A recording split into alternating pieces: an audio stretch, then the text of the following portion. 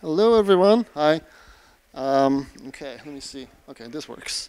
Cool, yeah, my name is Kuba. This is actually my second time giving a talk. I had one last year, uh, so an equally fun topic. Uh, yeah, we actually had a, a, correction to put up there because the bottom title is what was formally printed in documents, and these are the writing conventions applied, and the top is how it's supposed to be because Unix. Okay, so let's see, does this work? Cool. Uh, I'm not going to bore you with details about me. You can look them up on my last year's slide. Just go back in time, search my name. You can learn a little more, bit more about me. Uh, so, what are we dealing with? We're dealing with a $10,000 coffee machine that is very serious, very big. It's probably as big as this pedestal would be.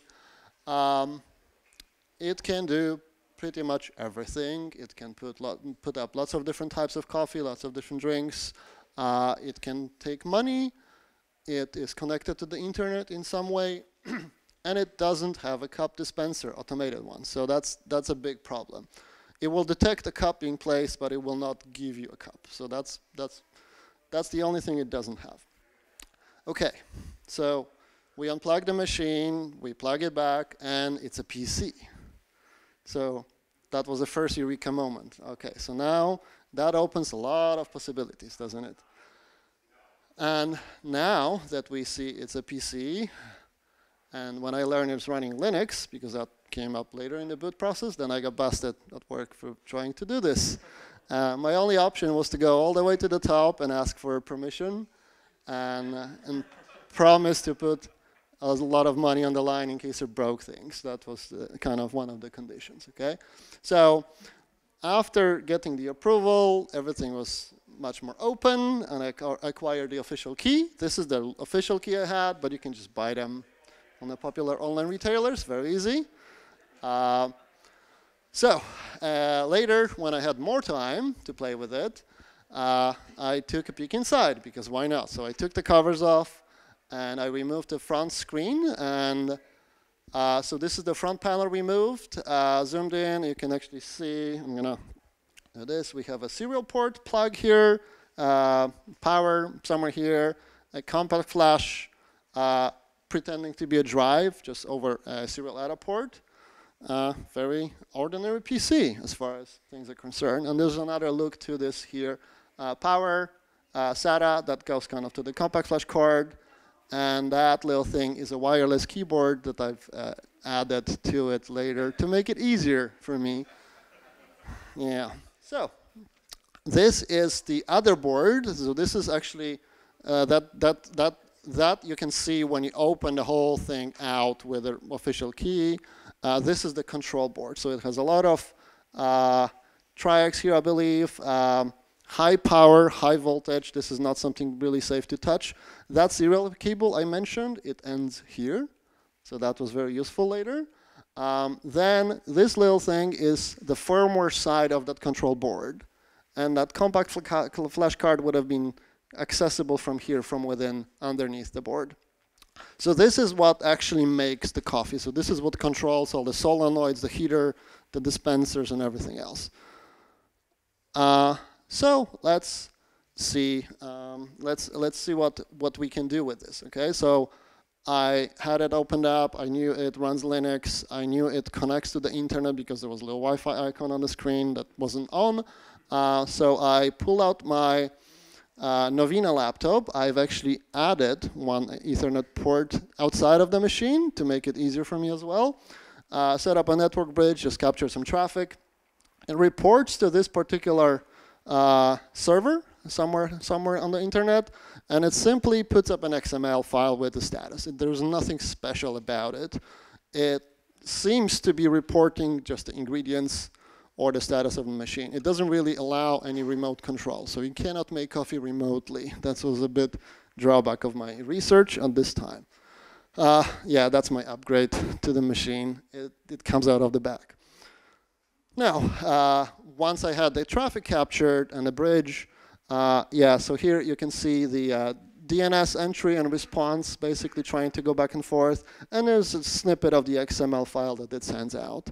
Uh, relatively simple troubleshooting. This is the XML file fully decoded and fully formatted to make it look nice. The MAC address has been redacted. but everything else here, and the serial number has been redacted too, but everything, it just reports what this machine is, doesn't, and that's about it. Very simple. So now, now that we know the uh, the user visible parts or, or the invisible parts, uh, look into the Linux that it actually runs. So there were two machines I dealt with. One was the, there was an older one and a newer one. The newer is the one that didn't have Ethernet port. The older one actually had a socket on the back that they didn't have to upgrade. Um, it, the, the older one ran Slax, and the other one ran Lubuntu, which are basically popular live CD distributions of Linux. Uh, the software in that coffee machine that, that runs on top of Linux is just simply a Java app with a UI that just plays videos and captures clicks. Uh, so what do you do when you get access to a Linux machine? Well, you look at the passwords.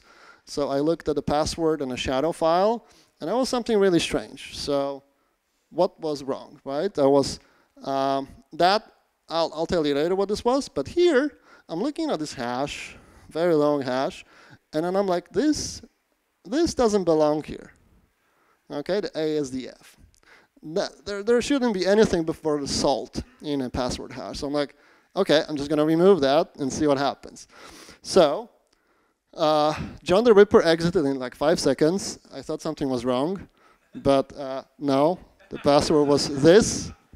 This was the password in the machine. It was obfuscated by just adding some stuff to it.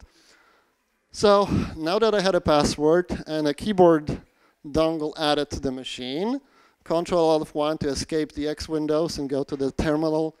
Uh, I added a couple things, like added additional user, admin. That was the one that I masked out in a previous slide with a UID 0 so that I could access to the machine anytime I wanted. It didn't have SSH, by the way, so that's something I didn't want to enable. Uh, so I talked about a serial port being somewhere there and a cable that goes all the way to the back to the controller.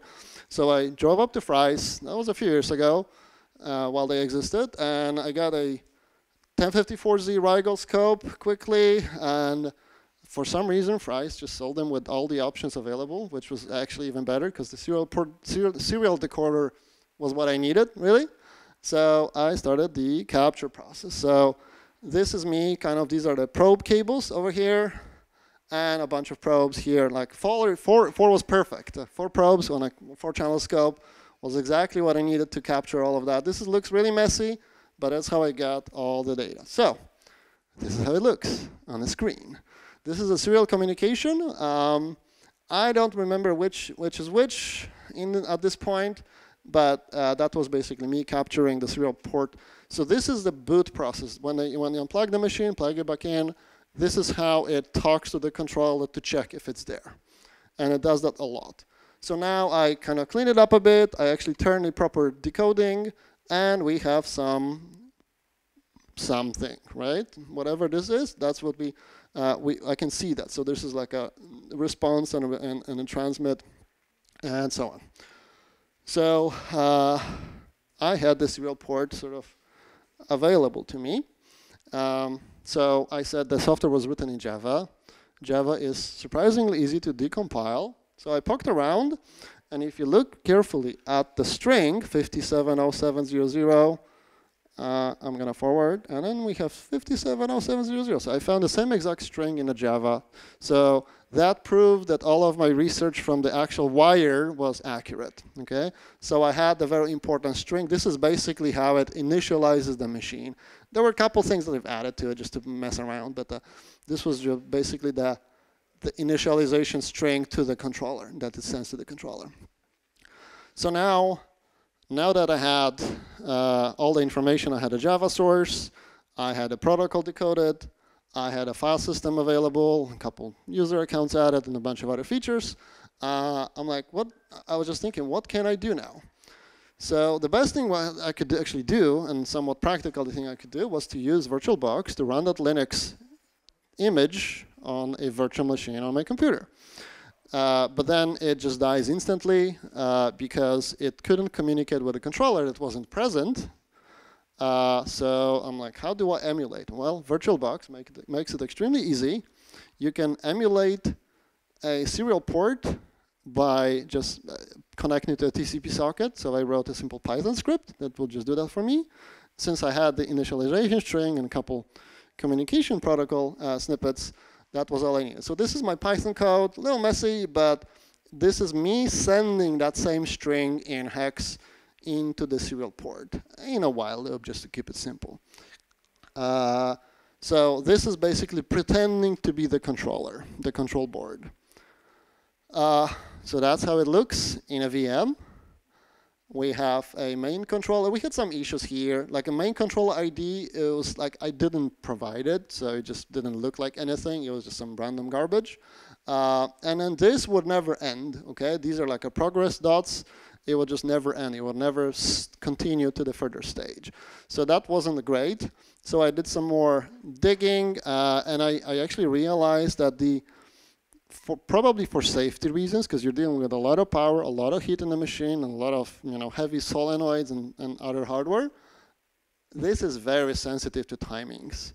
If there's anything wrong, and if there's any tiniest mismatch or any signal that maybe the control board is, you know, something happened to it, it stops for safety reasons. So that's why it just wouldn't ever continue doing this.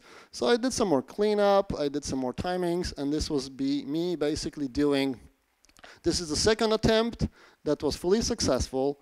Uh, it actually responded with an OK, which was good. Uh, and I don't have the next screen here, but you can see this all running within VirtualBox, VirtualBox uh, within a VM. So that made it through. And then it basically goes to the welcome string that you've seen on the first slide, effectively. Um, so, well, what's the practical, practical side of it? I said there is no cup dispenser. There's not much you can actually do, okay? Um, like I already mentioned that the serial protocol is very strict. You actually cannot make espresso. Like the minimum amount of liquid that's dispensable is like 118 milliliters, which is like three times the espresso. Maybe that could be tweaked, but the ordinary screen doesn't allow for that. So there's really not much practical stuff you can do. Uh, so I just kind of started pondering of like with different ideas. Uh, you could possibly write an open source controller. Uh, like you can you can do this on both ways, right? You could use a different Linux distribution, different OS to drive that control board. I think the most of the logic on, of verifying whether the machine is safe to use is on the PC side. So the control board will just take whatever commands you send to it and it will make you whatever you ask it to. Um, so you could probably use a different OS or different machine to do this. Um, my other idea was to use like a face recognition to click that the menus for you. So that would be kind of fun. Like you walk to the machine and it just tells you, it makes the coffee that you want. That would be kind of fun. But not automatically, unfortunately, because of the cup dispenser. Uh, and while I was at it, I actually found an Easter egg. And the Easter egg, let me see if I can bring the actual demo. I don't have the real machine. The Easter egg looked like this. It was in a machine.